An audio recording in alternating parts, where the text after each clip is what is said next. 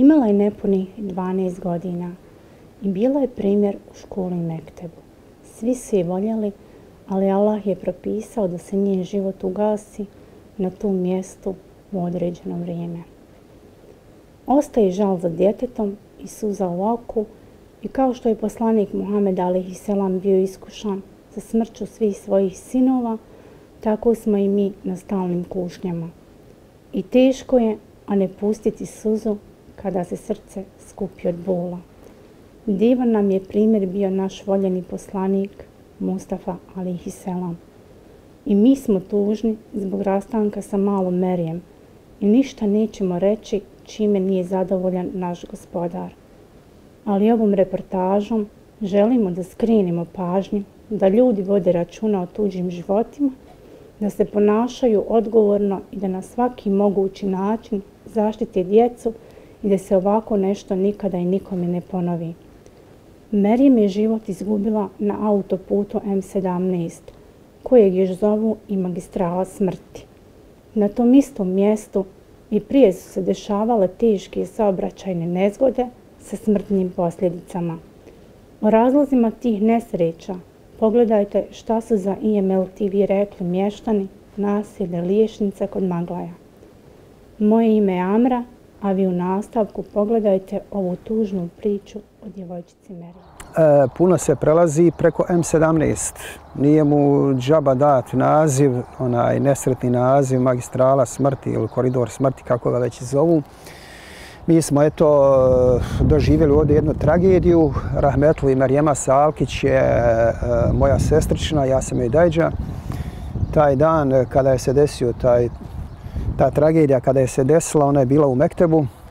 Gdje ste vi bili taj dan? Ja sam taj dan bio u bolnici i da ne bi djeca pravila izostanak, e, u dogovoru sa glavnim imamom, mojim pretpostavljenim, znači organizovali smo zamjenu, adekvatnu zamjenu i e, nastava je bila dakle cijeli dan onako kako je predviđeno po rasporedu na kraju, dakle na kraju mektepske nastave, znači u pola 12, njena smjena je se pustila i ona je otišla kući i odmah, dakle nekoliko minuta poslije toga desio je se taj, taj slučaj, e, nesretni slučaj. Znači ona je odavde, to je ovdje dolje, e, možda 200 metara zračne linije, gdje se vidi, gdje se vidi onaj, stub, e, stub elektro, od elektrodistribucije, onaj rešetkasti metalni stub, eto tu je se to deslo, tamo se vidi onaj, onaj most na koji ona trebala da pređe kad pređe magistralu. Božja odredba je htjela da se to tako sve poklopi, da joj i roditelji dođu na to mjesto kada će se to desiti, da ona dođe iz Mekteba na to mjesto kada će se to desiti. Roditelji su joj e, išli e, u bingo da kupe joj e, torbu i neke potrebštine za nagradnu ekskurziju u Tursku, dok je ona u Mektebu.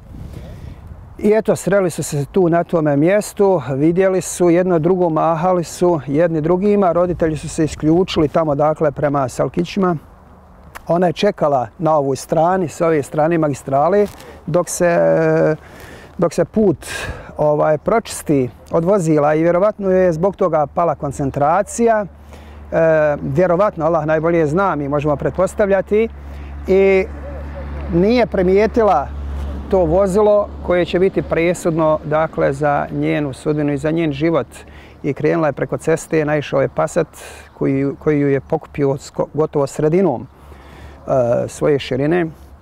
Mogli bismo kazati skoro da je ubio na licu mjesta eh, njen babo Edib i njen brat koji je vozio taj dan auto i majka njena Nisveta, moja sestra, znači e, sestra je vidjela, sestra je se u tom momentu okrenula i vidjela je kako Rahmetli Merijema leti kroz zrak, a u trenutak prije vidjela je da stoji I ovaj, odmah su u, u, u, zgrabili i ubacili u auto i udom zdravlja i ona je možda na, na dva kilometra odade već preselila na Hiret na rukama svog oca. To je e, tragičan događaj koji je pokosio ne samo našu familiju, možda se primijeti da ja i sad teško pričam o tome. Otac mi umro prije devet godina, ali ni izbliza nisam teško podnio ovaj, taj rastanak sa ocom kao što sam podnio rastanak sa Marijemom nadam se da ne griješim, da mi Allah oprosti. Valjda svakom teško pada kad e, mlado dijete onaj, e, strada i to nedužno i tako. I to je ta, i to je, e, ta priča o Marijemi. E, nadam se da nisam neobjektivan i nerealan kada kažem e, da je vidim u džennetu. Prvo, prvo što provjerio sam sa sestrom, ona je šarijatski maloljetna, dakle još nije imala znake e, polne zrelosti, što je e, e, uslov, odnosno što je granica kada se postaje šarijatski punoljetan. Iako ih nema do 15. godine, sa napunjeni 15 godina, postaje se i bez njih.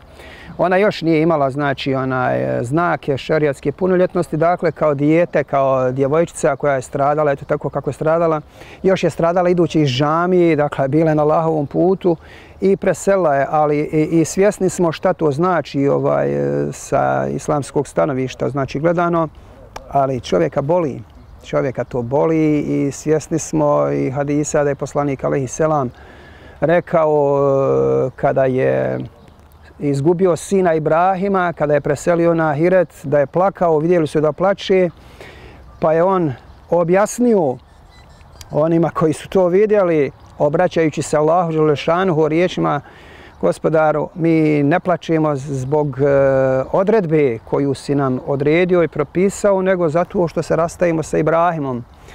Tako i mi plaćemo, ono što kažu, u žalosti smo što se privremeno rastajemo, rastali smo se sa našom Merjemom, a duboko smo svjesni da je ona i, i ubijeđeni, dakle, sa uvjerenjem da ona, ako Bog da, na boljem, na boljem odredištu, da ona, ako Bog da Allahova, Allahova e, miljenica kojo, koja je nama poslana na ovaj svijet, da nam bude nešto kao putokaz kakav treba biti musliman jer su, e, kad čovjek preseli na Hiret, onda mi o njemu tek e, počnemo analizirati i pričati priču kakav je bio, kakav nije i tako dalje. I često su te priče neobjektivne, nerealne. S obzirom na posao kojim se bavim, naslušam se svakakvih priča, pa kako se u zvijezde kuju neki koji ipak nisu zaslužili takav hvalospjev. E, I kažem, nadam se, neće biti nerealan ako kažem da je Marijema svojim primjerom pokazala kako se živi. Dakle, djevojčica sa 11 godina, a 12. godini ona preselila, klanjala je pet vakata namaza, na javna mjesta kada bi išla, dakle, kada bi išla u školu, džamije i tako dalje, išla je pod hijabom, već od malih nogu, dakle, navikavala se na hijab. E, klanjala, postala je mjesec Ramazan, dolazila na dječju mukabelu, mi u džami imamo dječju mukabelu, pored e, mukabela za nas odrasli, gdje sva djeca prouči, onaj, prouči hatmu, oni sami uz moj nadzor. Njoj nije bilo teško da dolazi redovno. Kad to sve čovjek sagleda, kad sagleda e, njen odnos, kontakt sa svima, sa svima i sa mnom kao muallimom, sa, sa učiteljicom u školi, sa svojim društvom i tako dalje, jednostavno je pokazivala e, kakav treba biti musliman sa svima. Tako da nam je to e, jedna satisfakcija, jedno zadovoljstvo što je to tako, znači jedna olakšica, olakšica u, u našoj žalosti. Tu sam bio kad sam naišao, moja kćerka je naišla tog momenta iz Doboja sa unukom i ovaj, taj slučaj se desio kad, mi, kad sam čuo za to, ja nisam mogu da, da vjerujem da je Merijama ovaj, Salkić poginula, ja, mene je čerka ušućivala, nije me mogla da utješi. To je bilo isto kada je moje dijete poginulo, to nas je potreslo, čitavo se naselje potreslo. Mi nemamo nikakvog prelaza ako ćemo na ovome dijelu ceste, na, preko ovog autoputa sa Sarajevo do Boj Sarajevo. Mi samo možemo ići e, po zraku da nam ništa ne bude. Jer mi nemamo druge solucije. Evo danas kreću, evo rade podvožnjak. Znači krenuli su nešto? Evo danas već su krenuli, radite podvožnjak i da taj se podvožnjak budući, to je taj potok, evo ga ovdje, eto ga ide kraju ih rastova i sad će oni ispod njega e, ubaciti cijevi, ozgo cementirati i kod autobuske stanice će uzeti da poravnaju da se može prolaziti. I trajno rješenje, ništa privremena rješenja. Privremena nama nikom ništa ne donosi. Ono je privremeno, mislim, da dođete ljeti tu na taj dio sad gdje je to, to je samo kanalizacija, ništa drugo nije. To je preko toci septički jama. I tu da djeca prolaze tu, mislim, i odrasli to ne jede. Jer ko imalo razumije se u to, Pa ima onda, u nas onda postoji mjesta dovoljno da se mora odraditi sve živo. Mora se napraviti petlja, jedna fina i prestrojavanje. Pravo rješenje je samo trajno rješenje. Trajno koje je predlagano, koje traži se već sedam godina i više od kad sam ja bio tu predsjednik Skupštine mjesne zajednice zahtjevi, pa moja nasljednica gdje sam ja ostao u savjetu i ti papiri svi postoje koji su slani prema službi urbanizma Maglaju i prema federacijama cesta. Uvijek negativan odgovor. Uradili su magistralni put bez sigurnog prelaza i putničkih auta i pješaka.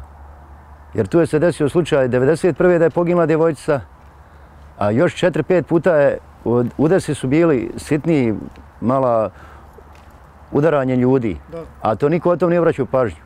I šta su radili sada, kada je u mene curca nastradala, udarili su branik da sad ne možemo nikako izaći. Faktički zatvorili nas potpuno. Nema rješenja. Rješenje je jedino uh, trajno rješenje podvožnjak. S mosta kad se izlazi na podvožnjak. A ne ovo što su i danas počeli da rade, da nas vode kroz kanalizacioni otvor faktički. Podvožnjak kroz koji ide 50 kanalizacija iz kuća iz jedne velike farme. I tu djeca da prolazi. To je sve nečisto da djeca prolazi tu. Mislim, to je... Kad je se ovaj e, autoput pravio, postoja je jedna solucija pokraj ovog autoputa e, da se napravi ta cesta od nas koji mi s mosta skrećemo sa lijeve strane, idemo prema Maglaju, to je bilo u planu da se napravi cesta i da se dol na petlju izide. Ne na glavni autoput, nego ovaj obični ovaj put sa lijeve strane prema Maglaju. Zašto to se nije uradilo, ja to ne znam. E, sad treba tražiti izla šta će napraviti Sad su ovdje zatvorili gdje je ova e, curca poginula, stavili branik, ali opet idu djeca preko branika i otisnu. Ovo je bez veze stavljeno. Ja ću ovo red, kogod je ovo stavio, on nema ni, jedan, ni jednog sata škole, a kamoli da budu inženjeri. Ovo glupo što je postavljeno, sramota. Sad se na to djeca penju pa sam se otisnu ozgovor dol da naprave što više. Znači ono treba skint. Sve na magistralnom putu što se radi je federalna direkcija cesta sa sjedištom u Staru. Ne može niko raditi ništa dok ne dobije njihovo odobrenje. A oni su i dužni da održavaju taj put. Opština održava lokalne puteve. Znači što god, ali pošto smo mi iz mjesne zajednice, moramo ići preko opštine. Damo njima zahtjev, oni šalju dalje u Staru. E sad ja ne znam da li su oni slali to, to ne znam. A zadnji put kad smo poslali, naveli smo načelnik, služba za urbanizam i federacija cesta.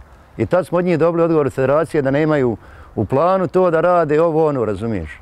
Dok se ne desi nešto. Kad se nešto desi, evo sad se desilo to, ne daj Bože meni, ne daj Bože nikom više da se desi. Da li, da li dijete, da li e, odrasli insan da nastrada. A ovo nije rješenje. Pa treba nas rješenje, napraviti jednu petlju, napraviti izlaz neki, da imamo sigurnost neku izlaska. Jer u nas na ovoj strani i škola, i prodavnica, i ambulantu imamo, i sve živo nam je ovamo, mi tam nemamo ništa preko. Znači oni radi privremeno, može privremeno, ali dobijate rok kada trajno rješenje, kad se počije raditi i rok kad ćete ga morate završiti. Ne završite, onda ćemo postupiti, možda ne, ne ljudski, ali nekim drugim ćemo pokušati ovaj, možda su nasilne metode, možda nisu, to ćemo vidjeti zarad vlastitog obraza, zarad vlastitog morala, zarad vlastite savjesti, na kraju krajeva zarad vlastite odgovornosti pred dragim Bogom. A doćemo svi pred Boga, nije bitno koju smo funkciju obnašali na ovome svijetu i kakvi smo bili, šta smo bili u društvu na ovome svijetu, doćemo pred Boga. I vjerovali to ili ne vjerovali u to, mi ćemo opet doći pred Boga. Znači da se nas ništa ne pita, ni to od nas zavisi. Šta zavisi od nas? Zavisi od mene samo kakav ću ja biti na ovom svijetu, odnosno kakav ću ja doći pred njega. Da li ću doći, da li neću, mislim, to je neupitno. I ako predvodim narod, ako ga zastupam, neke to na nivou mjesne zajednice, neke to na nivou općine, neke to na nivou države, gdje god je, treba imati sluha i osjećaja za svoj narod. E, Zet mi je rekao da su slali neke dopise sa zahtjevom da se riješi e, ovdje o, ova, ova kritična tačka, dakle ovog frekventnog prelaska M17 na ovom mjestu i da nikad nisu dobili ni povratne informacije, dakle ni odgovor, ni da, ni ne i tako dalje. To već puno govori. Prema kome su slali? Pa ne znam prema kome su slali. Znam da su slali. E, prema da li, Prema dakle nadležnima. Nisu, dakle, sigurno nisu slali e, u pogrešnom e, pravicu. Eh, a onaj ono što, ono što, e, što mene boli kod našeg naroda, ono što, što sam na početku rekao, što nama, koliko su nam problem neki, ne znam ja, koji nas zastupaju, predstavljaju i tako dalje, problemi, problemi u tome što mi e, nismo dovoljno aktivni da provjeravamo, kontrolišemo, pozivamo, zahtijevamo, da smo u tome uporni i tako dalje. Evo šta ljudi rade u ovakvim situacijama, recimo kada žele nešto da naprave, e, hajmo blokirati cestu. Pa čovječe, možeš ti blokirati cestu, eto kao da bi ostvarili nešto da se napravi recimo podvožnjak, da se može tu prelaziti. Ali koga si ti tu kaznio? Ti si kaznio tu nevine ljude koji tom cestom idu, hljeb zarađuju, jeste, putuju, vozi nekoga u bolnicu, ide u školu i tako da. Znači, kažnjavaš nevine ljude, a ima načina da se oni koji nas predvode da se prisili na poslušnost. Našom građanskom neposlušnošću. Dakle, na jedan civiliziran način i ja sam zadivljen kad vidim, jeste demokratski, kad vidim kako ljudi na demokratski način ostvaruju određene ciljeve ili E, kad spriječe one koji ih predstavljaju, kad ih spriječe da u nekakvim nečasnim e, planovima i željama da nešto ostvare što, e, što nije korektno, kako ih spriječe samo izlaskom na ulicu, ali izađu mase, da se čovjek onaj krv sledi i ova, iznesu konkretni zahtjevi, ako treba dođu sutra, pa dođu preko sutra, pa dođu zako sutra, pa dođu, Ponovno. ako treba mjesecima će biti, ali neke se stvari moraju riješiti dakle što je objektivno, u nas toga manjka i sve dok toga ne bude bilo mi ne možemo pogledati boljitak. Evo mi danas smo nešto i na hotbi govorili ovaj, na tu temu, dakle mi da bismo e, dobili poboljšanje na bilo, na bilo kojem osnovu i na bilo kojem planu, moramo dati neki onaj svoj impuls, neki svoj poticaj, podstrek i, i tako. Tako da ne znam e, koliko će se nekome svidjeti ovaj moj stav i tako, ali, ali smatram da mi puno možemo postići ako smo aktivniji, ako svako sjedi u svojoj kući za svojim laptopom, računarom i tako dalje i bavimo se nebitnim stvarima ili samo lajkujemo lažno i podržavamo nečije stavoje, a taj neko ko bi se borio sam se bori i bez nas, mislim, nema od toga ništa. Dakle, Osim to nima nije taj prazni priče, treba i. Jest, jest, jest, tako je. Danas smo znači, u Liješnici ovdje razgovarali sa mještanima, razgovarali smo sa osim e, uh, nastradale djevojčice sa imamom, mjesnim imamom u Lješnici. E, čuli ste porke ovih ljudi i njihove potrebe, stvari to su potrebe e, svakodnevne da se više nikad ne dese stvari koje se desile, nažalost. Ne samo nedavno, nego se i prije dešavale, Prije je bilo i smrtnih slučajeva i stra, stradalih ljudi iz ovih naselja obližnjih. Dakle, uh, radite nešto kako bi prije svega djeca koja su možda i najviše izložena ovim opasnostima bila sigurna, ali sigurna e, 100% i uradite nešto da ovi ljudi jednostavno e, dobiju svoje pravo na normalan i pravi život koji ih sredi. Bila Lisaković, e, Lješnica, Magla.